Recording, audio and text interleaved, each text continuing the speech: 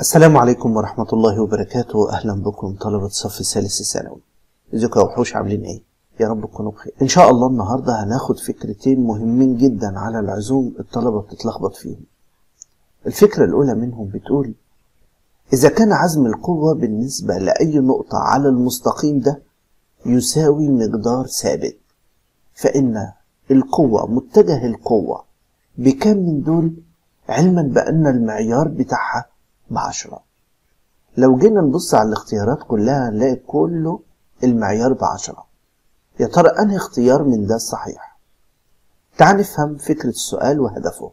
فكرة السؤال يا شباب بيقول إن أنت معاك مستقيم وليكن إن هو ده المستقيم. لما جيت تجيب عزم القوة بالنسبة لأي نقطة عليه يعني بالفرض كان فيه هنا نقطة وكان فيه هنا نقطة وكان فيه هنا نقطة. جينا نجيب العزم لقيناه مقدار ثابت. طب يا أستاذ لو كانت القوة بتأثر في النقطة دي العزم من هنا نفسه العزم من هنا نفسه العزم من هنا. يبقى إحنا يبقى إحنا استفدنا إن خط عمل القوة بيوازي المستقيم. يبقى لما يجي يقول لي إذا كان عزم القوة بيساوي مقدار ثابت يبقى معنى كده المستقيم بيوازي خط عمل القوة. يبقى دي القوة وده المستقيم الاتنين متوازيين طب أنا أستفاد إيه؟ إن متجه القوة كده هيساوي ثابت في متجه اتجاه المستقيم. لما يجي يقول لك إن عزم القوة بالنسبة لأي نقطة بيساوي مقدار ثابت يعني دي القوة جينا نجيب العزم كده لقيناه نفسه كده لقيناه نفسه كده.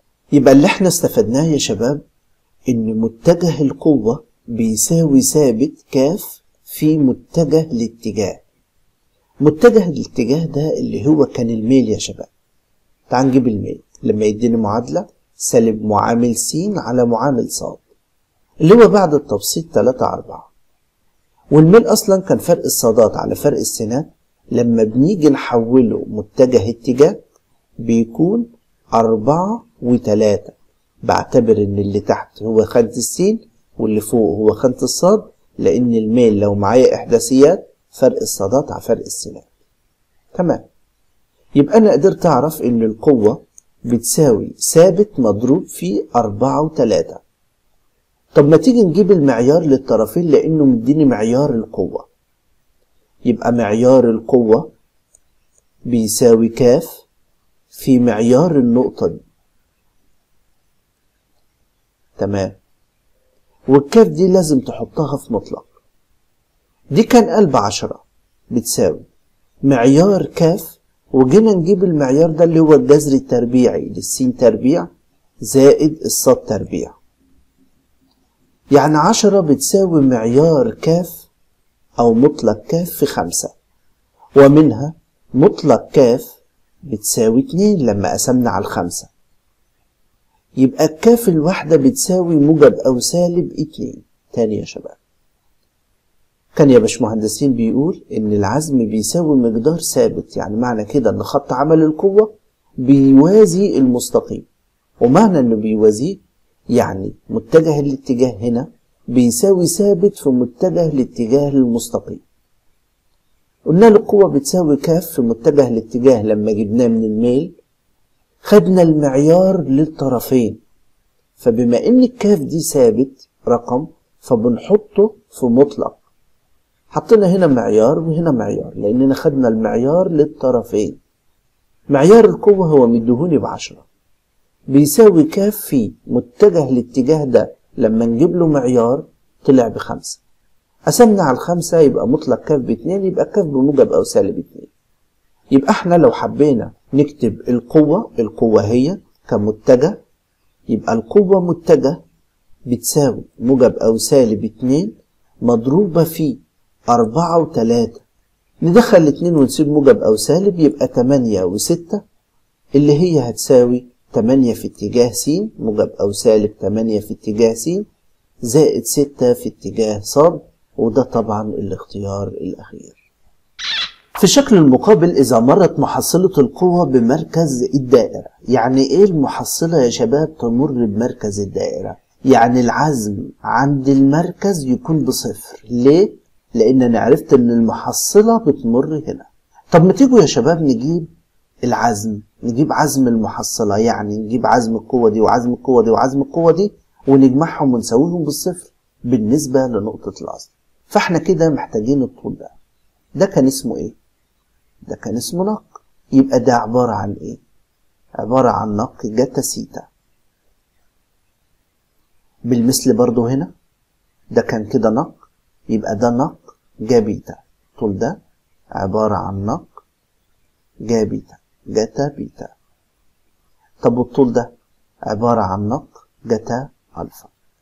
ده نق جتا ألفا. تمام.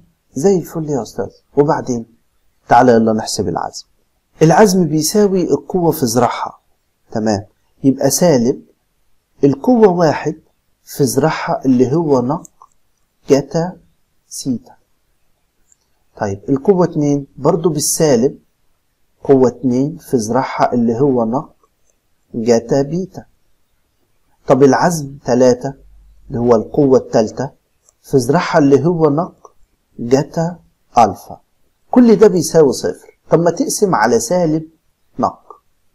لما جينا قسمنا على سالب نق بقت القوة الأولى جتا سيتا زائد القوة التانية جتا بيتا